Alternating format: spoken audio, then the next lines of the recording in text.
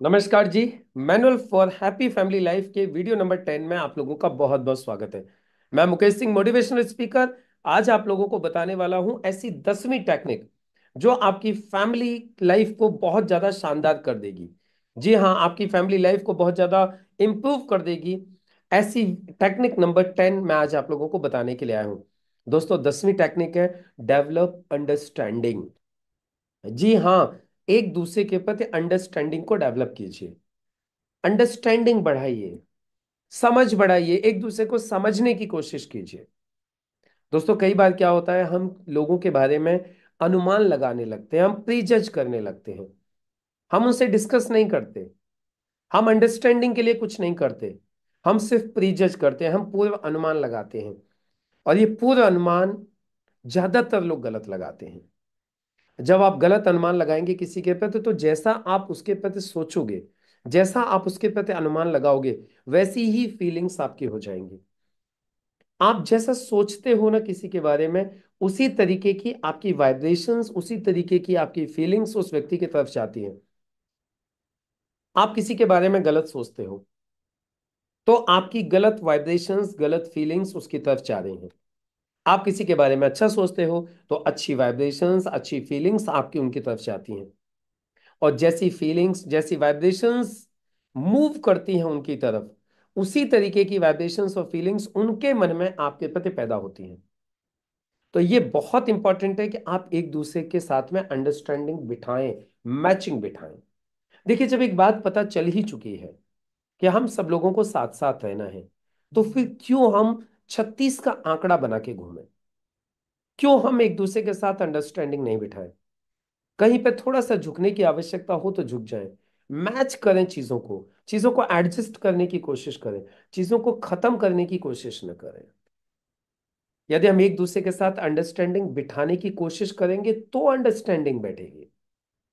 दो कदम आपको भी पीछे हटना पड़ेगा तो दो कदम दूसरे को भी पीछे हटना पड़ेगा। लेकिन मैं तो हमेशा दोस्तों कहता हूँ, आप पीछे हट जाइए। आपको आवश्यकता पड़ रही अंडरस्टैंडिंग बिठाने के लिए सॉरी बोलने की, आप बोल दीजिए। ऑलवेज इस बात का ध्यान रखिए अंडरस्टैंडिंग बिठाने की पहल आपको करनी है। आपको। आप पेरेंट्स हैं तो आपको अंडरस्टैंडिंग बिठानी है, बच्चे हैं तो अंडरस्टैंडिंग बिठानी है वाइफ है तो अंडरस्टैंडिंग बिठाइए हस्बैंड है तो अंडरस्टैंडिंग बिठाइए। एक दूसरे के साथ में अंडरस्टैंडिंग बिठाइए। जब तक आप एक दूसरे के साथ अंडरस्टैंडिंग नहीं बिठाओगे, आपकी अंडरस्टैंडिंग मैच नहीं होगी। फैमिली में कभी भी यूनिटी नहीं हो सकती। फैमिली में कभी भी एक दूसरे के प्रति रिस्पेक्ट नहीं हो सकता। एक दूसरे के प्रति कोऑर्डिनेशन नहीं हो सकता। तो एक दूसरे के साथ में जब आप अंडरस्टैंडिंग बिठाओगे, जब आप अपनी अंडरस्टैंडिंग को मैच करोगे, तब जाके आपके रिलेशंस बनेंगे।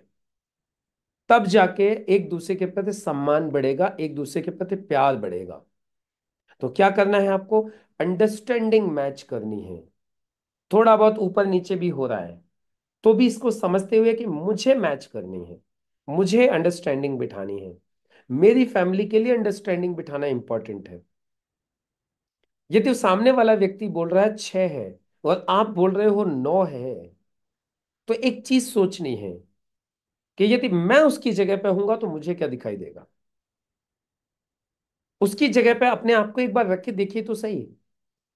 और यदि आप अपने आप को उसकी जगह पे रख के देखोगे तो आपको भी नौ ही दिखाई देगा।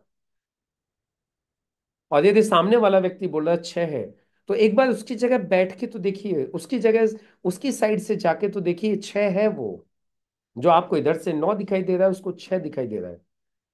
एक्चुअली कुछ नहीं है। सिचुएशन है, समझ है, उनकी परिस्थिति है, उनकी साइड है, उनका देखने का नज़रिया है। वो अपने नज़रिए से देख रहे हैं, उनको छह दिख रहा है, आप अपने नज़रिए से देख रहे हो, नौ दिख रहा है। अरे भाई, एक बार दूसरे के नज़रिए से तो देखने की कोशिश कीजिए। जो आप बोल रहे हो, हमेशा वही सही होगा, ऐसा नहीं है। जो दूसरा बोल रहा है, वो भी सही हो सकता है। इसीलिए बोलते हैं अंडरस्टैंडिंग बिठाइए। एक बार उनके एंगल से चीज़ों को देखने की कोशिश कीजिए। कई बार बच्चे हैं, पेरेंट्स की बात बुरी मान जाते हैं। मैं बच्चों को बोलता हूँ, बेटा, एक बार पेरेंट्स के एंगल से तो समझने की कोशिश कीजिए। या एक बार पेरेंट्स भी हैं, वो बच्चों की बातों को नहीं समझने की कोशिश करते। मैं बोलता हूँ, एक बार आप बच्चों के एंगल से तो सोचने की कोशिश कीजिए। एक बार आप एक दूसरे के एंगल से देखने की कोशिश तो कीजिए। जैसे आप इस मोड़ पे आ जाएँगे कि आप सामने वाले एंगल के हिसाब से देखना चालू कर दें अंडरस्टैंडिंग मैच होना स्टार्ट हो जाएगी। और जैसे ही अंडरस्टैंडिंग मैच होना स्टार्ट होगी प्रॉब्लम सॉल्व हो जाएगी। आपस का मन मुटाव खत्म हो जाएगा, लड़ाई झगड़े खत्म हो जाएँगे। एक दूसरे को आप सम्मान देने लगोगे, एक दूसरे को आप पूछने लगोगे, एक दूसरे की बातों को आप तवज्जो देने लगोगे, आप इज़्ज़त देने लगोगे।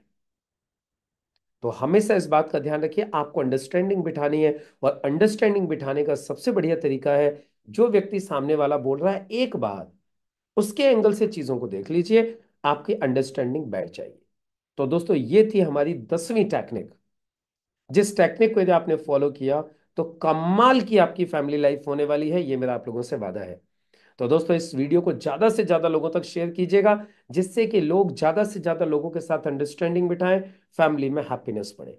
चैनल पे आप पहली बार आए हैं तो ज़रूर सब्सक्राइब कीजिएगा, जिससे कि आने वाले और भी वीडियोस आप लोगों को मिल सकें। अब मुलाकात होगी आप लोगों से हमारे आखिरी वीडियो में, हमारे manual for happy family life के आखिरी वीडियो में, इलेवंथ वीडियो में। तब तक के लिए सभी को नमस्कार।